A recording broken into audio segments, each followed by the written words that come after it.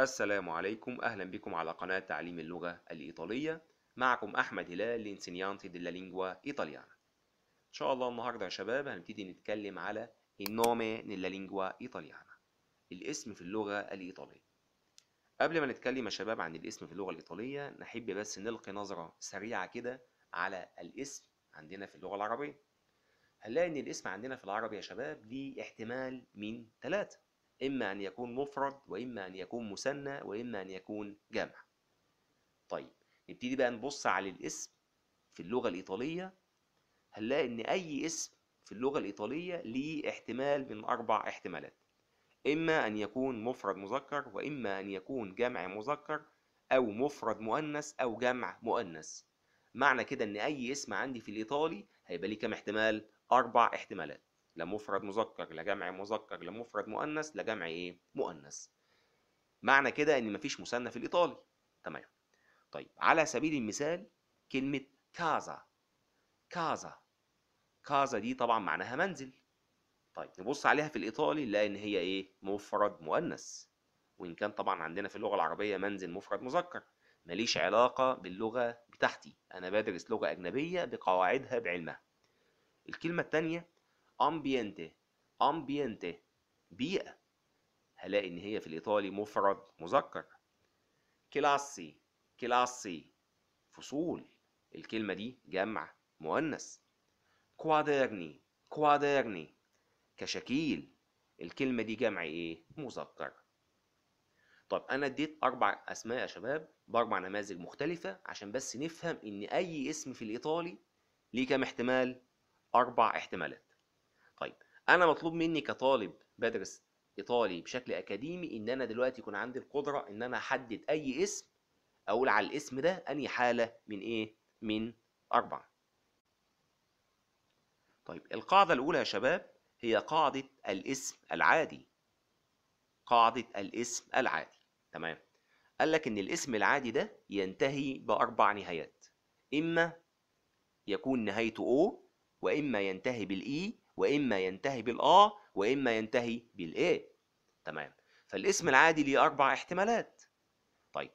كل ليه أربع احتمالات بأربع نهايات. كل نهاية قصادها حالة. بمعنى يعني الاسم العادي لو آخره o يبقى ده مفرد مذكر. آخره i جمع مذكر. آخره a مفرد مؤنث. آخره إيه جمع مؤنث. معنى كده إن كل نهاية قصادها إيه؟ قصادها حالة. معنى كده إن سيادتك لما تيجي تشوف أي اسم عادي في الإيطالي كل اللي هعمله هبص على نهايته. آخره أو يبقى مفرد مذكر آخره اي جمع مذكر آخره آه مفرد مؤنث آخره إيه جمع مؤنث. على سبيل المثال كلمة رجعتسو رجعتسو أنا عندي الكلمة دي موجودة عندي في الإيطالي هبص على نهايتها هلاقي إن آخرها إيه؟ أو. طبعا ragazzo معناها ولد. يبقى الكلمة دي وأنا مغمض مفرد مذكر. طيب عشان أجمعها عايز أقول كلمة أولاد. تمام؟ كل اللي هنعمله هنشيل نهاية المفرد ونحط نهاية الجمع. يعني هشيل ال o واكتب i يبقى جمع ragazzo ragazzi اللي هي ولد وأولاد. طب الكلمة التانية quaderno quaderno كشكول. آخرها إيه؟ آخرها o تبقى مفرد مذكر. عشان أجمعها نفس القصة كل اللي هعمله هشيل نهاية المفرد وأحط نهاية الجمع. اللي هي بشيل ال o واكتب ال i أكن ال i دي عندنا مثلا بتساوي الواو والنون الجماعة. يبقى quaderno جمعها quaderni تمام. طيب المفرد المؤنث ينتهي بال a والجمع بال e؟ نفس القصة. penna penna قلم. قلم ده مذكر يا مستر. أنت مالك؟ آخره إيه؟ آخره a. يبقى في الإيطالي قلم كلمة مفرد مؤنث. طب عايز أجمع أقول أقلام. عادي جدا نفس الكلمة بنزلها هي هي كل اللي بعمله بشيل نهاية المفرد المؤنث وأحط نهاية جمع الإيه؟ المؤنث. يبقى بينا جمعها بن كازا منزل. آخرها إيه؟ محدش يقول لي منزل ده مذكر. آخرها إيه؟ آخرها آه. إحنا بنتكلم بالإيطالي. يبقى آخرها آه تبقى مفرد مؤنث. عشان أجمعها كل اللي هعمله هشيل الآه وأحط مين؟ وأحط الإيه؟ يبقى كازا جمعها كازا يبقى كده يا شباب الاسم العادي سهل جدا. الاسم العادي ليه أربع نهايات تمام؟ كل نهاية قصادها حالة. لو انتهى بالأو يبقى الاسم ده مفرد مذكر. انتهى بالاي جمع مذكر. انتهى بالاه مفرد مؤنث. انتهى بالإيه؟ جمع مؤنث. تمام؟ يبقى دي أول طريقة بنخش بيها على الأسماء عشان نحدد إن الاسم ده أنهي حالة من كام؟ من أربعة. على سبيل المثال الجدول اللي قدامك ده أنا جايب مجموعة من الكلمات أو الأسماء بقول لك حدد نوع وعدد الاسم. يعني إيه نوع؟ يعني مذكر أو مؤنث. يعني إيه عدد مفرد أو جمع؟ اللي هي الأربع حالات بتاعت الاسم. طبعا ميم كاف اختصار مفرد مذكر جيم كاف جمع مذكر ميم س مفرد مؤنث جيم س جمع مؤنث. يعني على سبيل المثال أول كلمة compito compito معناها واجب. الكلمة دي مفرد إيه أو جمع إيه؟ ماليش علاقة. هبص على النهاية. آخرها o تبقى مفرد إيه؟ مذكر. أجمعها compiti واجبات. penna آخرها a مفرد مؤنث. أجمعها بن يبقى قلم أقلام. macchina سيارة. طبعا آخرها a مفرد مؤنث. أجمعها أشيل ال a وأكتب e تبقى macchine. quaderno آخرها o طبعا quaderno معناها كشكول. مفرد مذكر. أجمعها quaderni scuola مدرسة. آخرها a مفرد مؤنث. أجمعها scuole amico صديق. مفرد مذكر. amici أصدقاء جمع مذكر. بيتزا مفرد مؤنث جمعها pizze جمع مؤنث. treno آخرها o مفرد مذكر قطار. جمعها تريني جمع مذكر. يبقى كل اللي عملناه يا شباب شلنا نهاية المفرد وحطينا نهاية الجمع. يبقى كده يا شباب قلنا الاسم العادي ليه أربع نهايات كل نهاية قصادها حالة. تمام؟ طيب نخش بقى على النوع الثاني من الأسماء اسمها الأسماء الشاذة. طيب يعني إيه اسم شاذ يا أساتذة وليه اتسمى بالاسم ده؟ قال لك إن الأسماء الشاذة دي ليها نهايتين فقط إما تنتهي بالإيه وإما تنتهي بالاي بمعنى الاسم الشاذ ينتهي بالإيه إذا كان مفرد بنوعيه يعني إيه مفرد بنوعيه؟ مذكر أو مؤنث. يبقى أي اسم شاذ مفرد لازم يكون آخره إيه يا شباب؟ سواء كان مذكر أو مؤنث. طب وينتهي بالإيه؟ إذا كان جمع بنوعيه نفس القصة مذكر أو مؤنث. تمام؟ يعني على سبيل المثال الكلمة الأولى كلمة padre. padre معناها أب.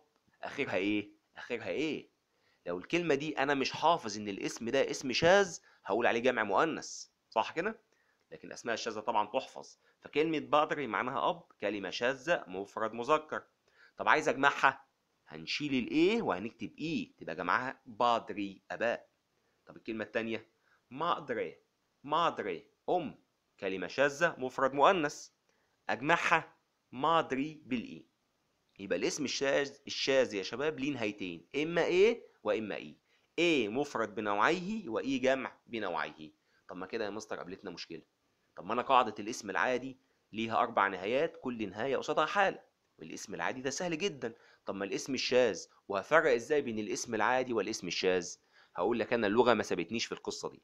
الأسماء الشاذة هي عددها قليل وحلها تحفظ. يبقى أنا حافظ مجموعة الأسماء الشاذة اللي ليها نهايتين وحافظ مين؟ الأسماء المذكرة والأسماء المؤنثة. ما دون الشاذ قاعدة. بمعنى يعني أي اسم أنا مش حافظه في الشواذ هطبق عليه قاعدة الاسم العادي في النهايات. طيب على سبيل المثال دي مجموعة الأهم الأسماء الشاذة اللي منها المذكر ومنها الإيه؟ المؤنث. طبعا الاثنين سواء مذكر أو مؤنث في المفرد إيه وفي الجمع إيه طيب أمثلة يا شباب للشواذ المفرد المذكر. أول كلمة بادري signore signore professore studente pesce mare caffè ristorante cane stivale cellulare ambiente. طبعا كل دي مجموعة الأسماء الشاذة اللي هي مفرد إيه؟ مذكر.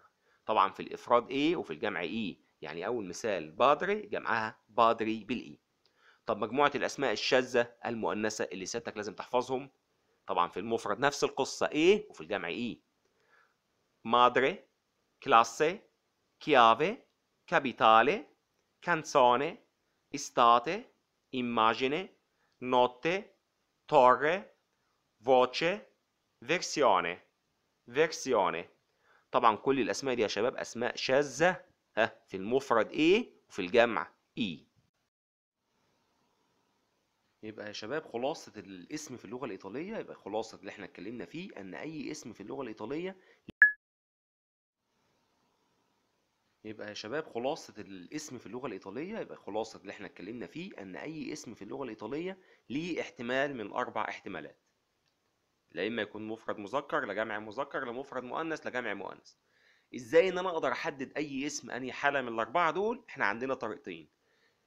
قاعدة الاسم العادي إن أنا ببص على نهاية الاسم أو آخره أو يبقى مفرد مذكر آخره إي جمع مذكر آخره آه مفرد مؤنث آخره إيه جمع مؤنث لا إما مجموعة أسماء اسمها أسماء شاذة أنا حافظها. والأسماء الشاذة ليها نهايتين بس يا شباب إما إيه وإما إي إيه مفرد بنوعيه سواء مذكر أو مؤنث إي جمع بنوعيه. تمام؟ يبقى أنا حافظ مجموعة أسماء شاذة. حافظ مين؟ إيه هي الأسماء المذكرة وإيه هي الأسماء المؤنثة. أي اسم أنا مش حافظه في الشواذ هطبق عليه قاعدة النهاية. تمام؟ يعني مديكوا 8 أمثلة بس عشان نشغل مخنا على القصة دي. يعني هنا قلت لك حدد نوع وعدد الأسماء التالية. كلمة أميكو أنا عندي أي اسم خلاص اتفقنا ليه احتمال من اربعه تمام؟ طيب أعمل إيه يا شباب قبل ما أبص على النهاية؟ أعمل إيه؟ هل الكلمة دي أنا حفظتها في الشواذ؟ كلمة أميكو أنا مش حافظها في الشواذ صح؟ يبقى هبص على النهاية. آخرها أو مفرد مذكر. وعايز أجمعها هشيل الأو وأكتب إيه. أميكو طبعا معناها صديق. طب الكلمة الثانية بنا قلم. حافظها في الشواذ؟ لا مش حافظها في الشواذ مش موجودة. هبص على النهاية آخرها آه تبقى مفرد مؤنث. عشان أجمعها هشيل الآ وأكتب إيه؟ سكوالة. سكوالة معناها مدارس. الكلمة دي حافظها في الشواذ؟ لا مش موجودة. آخرها إيه؟ آخرها إيه تبقى دي جمع مؤنث. محدش يقول لي دي اسم شاذ لا. كوادرني كشكيل. مش حافظينها في الشواذ. آخرها إيه تبقى جمع مذكر. طيب بادري أب. لا دي أنا حافظها في الشواذ وحافظ إن دي شواذ المذكر يبقى دي مفرد مذكر. طب عشان أجمعها هشيل الايه وأكتب إيه تبقى بادري مادري أم حافظها في الشواذ آخرها إيه مفرد مؤنث. تمام. والجمع نفس القصة بشيل الايه وأكتب إيه كاني كلاب. طبعا كاني أنا حافظها في الشواذ المذكرة لكن هنا آخرها إيه فدي جمع مذكر. كانساني أغنيات طبعا هنا حافظها في الشواذ آخرها إيه؟ تبقى دي جمع إيه؟ جمع مؤنث. يبقى ده خلاصة درس الأسماء يا شباب. الطريقتين بتاع اللي إحنا خدناهم طريقة الاسم العادي ببص على النهاية الأسماء الشاذة أنا حافظها ما دون الشاذ قاعدة يا شباب. طيب كده يتبقى لينا بس نقطة واحدة أو مدخل تاني من مداخل اللي بتساعدنا في تحديد الأسماء من حيث الإفراد والجمع التذكير والتأنيث ألا وهي مدخل قواعد الاسم. طيب إيه الفرق يا شباب بين مدخل القواعد ومدخل الأسماء الشاذة؟ الأسماء الشاذة أو طريقة الأسماء الشاذة في تحديد نوع وعدد الاسم يا شباب الأسماء الشاذة دي عبارة عن مجموعة من الأسماء اللي أنا حافظهم تمام؟ والأسماء دي في المفرد المذكر والمؤنث ينتهوا بنهايه واحدة وجمع المذكر والمؤنث نهاية واحدة. يبقى الأسماء الشاذة في الإيطالي نهاية واحدة للمفرد بنوعيه ونهاية واحدة للجمع بنوعيه. بس دي مجموعة من الأسماء أنا حافظها. أما مدخل القواعد فأنا ما بحفظش أسماء أنا بحفظ قاعدة وتطبق على أي اسم في اللغة الإيطالية ينطبق على القاعدة. ده الفرق يا شباب بين مدخل الأسماء الشاذة ومدخل القواعد. طيب إحنا لما نيجي نتكلم عن قواعد اللغة الإيطالية أقرب مثال ليها في العربي مثلا أي اسم ينتهي بتاء تانيث يبقى ده مؤنث. واو ونون يبقى ده جمع مذكر وهكذا. طب نبص على أشهر ست قواعد عندنا في اللغة الإيطالية بالنسبة لتحديد الاسم. أول قاعدة بتقول إن أي اسم ينتهي بالمقطع تسيونه يكون مفرد مؤنث ويجمع بالإي. تمام؟ يبقى أنا أي اسم عندي في الإيطالي ينتهي بالمقطع ده وأنا مغمض مفرد مؤنث. زي كلمة ليتسيونه درس. أشد خط تحت مقطع تسيوني أخرها تسيوني تبقى مفرد مؤنث. عشان أجمعها كل اللي هعمله هشيل نهاية ال e وأحط ال i يبقى الجمع lezioni دروس. طب القاعدة الثانية يا شباب؟ أي اسم ينتهي واخد بالك أنا بقول أي اسم ينتهي بالمقطع tore يكون مفرد مذكر. كلام جميل. هنا بقى ممكن أجيب منه مؤنث. طب أعمل إيه؟ أشيل مقطع tore وأكتب trice وجمع الاثنين بال i بمعنى يعني كلمة attore attore آخرها إيه؟ المقطع توري تبقى مفرد مذكر معناها ممثل. طيب عشان أجمعها هشيل الايه وأكتب إيه تبقى اتوري ممثلين. طب اللي قصادها؟ اتريتشه اتريتشه آخرها المقطع تريتشة معناها ممثلة. طيب أجمعها اتريتشه ممثلات. يبقى أي اسم ينتهي بتسيوني مفرد مؤنث أي اسم ينتهي بتوري مفرد مذكر ويؤنث بتريتشة. طب القاعدة رقم ثلاثة دي مهمة جدا. أي اسم ينتهي بالمقطع ista. ده بقى يشير في المفرد إلى مذكر ومؤنث. يعني إيه؟ يعني أي كلمة آخرها ista لو فتحنا قاموس إيطالي إيطالي هنلاقي إن الكلمة دي مفرد مذكر ومفرد مؤنث الاثنين مع بعض. طب أنا أحدد إزاي؟ اللغة ما سابتنيش. قال لك ويتم التحديد من خلال الاسم. هل أحمد ولا فاطمة؟ أداة التعريف هل الأداة دي تسبق مفرد مذكر أو مفرد مؤنث؟ الصفة هل الصفة دي واخدة تبعية المذكر ولا تبعية المؤنث؟ بمعنى يعني عندنا كلمة زي dentista dentista. آخرها المقطع ista. هنفتح القاموس هنلاقي معناها طبيب أو طبيبة. أنا بقى في الجملة اللي هحدد. يعني أول جملة بقول لك علي è un dentista bravo علي يكون طبيب شاطر. تمام. طب كلمة dentista دي تمشي الاثنين طبيب أو طبيبة. لكن في الجملة دي اداني علي واداني un. أداة تنكير تسبق مذكر. واداني برافو صفة تتبع مذكر. يبقى dentista هنا طبيب. اللي تحتيها فاطمة è una dentista brava لا dentista هنا بقى اللي تحتيها معناها طبيبة. شفنا بقى إن كلمة واحدة إدت معنيين معنى المذكر ومعنى المؤنث واداني المفاتيح في الجملة. يبقى أول ثلاث قواعد ليهم علاقة ببعض يا شباب. يبقى أي كلمة تنتهي بتسيوني مفرد مؤنث أي كلمة تنتهي بتوري مفرد مذكر أي كلمة تنتهي بايستا تشير إلى مفرد مذكر أو مفرد مؤنث يعني القاعدة الأولى عكس الثانية والثالثة شاملة الاثنين. طب القاعدة رقم أربعة أي اسم ينتهي بحرف ساكن؟ تمام فاكرين إن إحنا قلنا إن أي كلمة في الإيطالي تنتهي بحرف متحرك. معنى إن كلمة تنتهي بحرف ساكن مبدئيا هي كلمة أجنبية ليست من أصل إيطالي. تمام. بس أنا هنا ما بتكلمش عن أصل الكلمات أنا بتكلم على الإفراد والجمع. تمام. يبقى القاعدة بتاعتنا أي اسم ينتهي بحرف ساكن يكون اسم أجنبي. القاعدة إيه بقى؟ لا يتغير عند الجمع. يعني ما عشان أجيب منه الجمع هي هي نفس الكلمة. يعني كلمة فيلم اللي قدامنا دي معناها فيلم أو أفلام. طب أنا عايز أحدد. قال لك ويتم التحديد. التحديد اللي هو إيه يا شباب؟ التحديد ده اللي هو فيلم أو أفلام من خلال أداة التعريف أو الفعل أو الصفة. يعني الجملة الأولى الفيلم دي حلمي ايبالو كلمة فيلم دي تمشي مفرد مذكر أو مفرد مؤنث. لكن هنا في أداة ال تسبق مفرد مذكر. وفي فعل إيه اتصرف التصريف الثالث يبقى ده مفرد. وفي صفة مع المذكر يبقى مع المفرد المذكر اللي هي بيلو يبقى فيلم هنا مفرد مذكر. طب اللي بعديها؟ i film di حلمي sono belli لا هنا فيلم سبقها أداة تعريف جمع مذكر اللي هي ال i وخدت التصريف السادس مع الجمع اللي هو فعل sono وخدت صفة تتبع جمع مذكر يبقى الكلمة الثانية فيلم هنا جمع مذكر. طب القاعدة رقم خمسة يا شباب نفس فكرة القاعدة رقم أربعة إن أي اسم ينتهي بحرف عليه نبرة زي città. نبرة يعني الكلمة يا شباب الاسم آخره عليه ال accento اللي أنت شايفه ده. نفس القصة لا تتغير عند الجمع يبقى كأنه اسم جامد. ويتغير ما دون ذلك اللي هو إيه؟ الأداة والفعل والصفة. يعني كلمة città مدينة أو مدن università جامعة أو جامعات. طيب Il Cairo è la città bella؟ القاهرة تكون المدينة الجميلة. هنا città مدينة عشان كده طبعا كلمة أداة تعريف la والصفة bella. طب اللي بعديها Il Cairo e Assuan sono le città belle؟ القاهرة وأسوان يكون مدن جميلة يبقى città اللي تحت جمع مؤنث.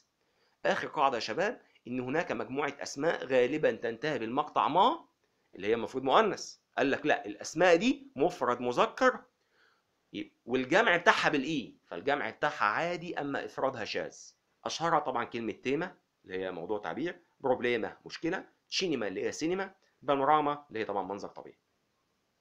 بكده يا شباب نكون خلصنا جميع الطرق اللي هم ثلاث طرق اللي بيمكنونا في تحديد الاسم من حيث الإفراد والجمع التذكير والتأنيث.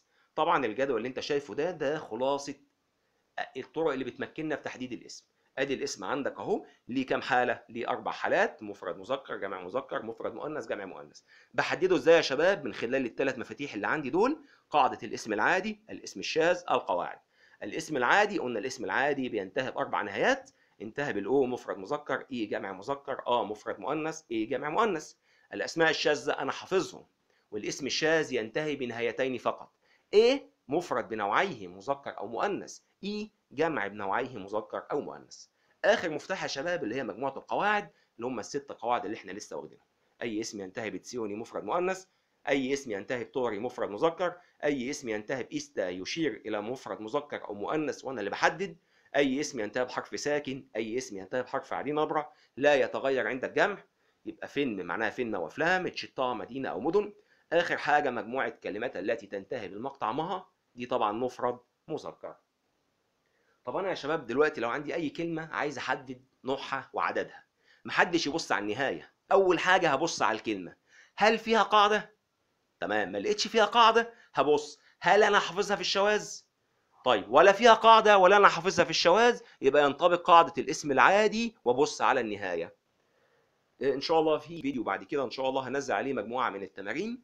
يا رب أكون أفدتكم. آه، إن شاء الله بإذن الله هنستكمل مع بعض شرح طبعا آه، قواعد اللغة الإيطالية. تباعا الرجاء لو الفيديو أعجبك الاشتراك في القناة والسلام عليكم ورحمة الله وبركاته.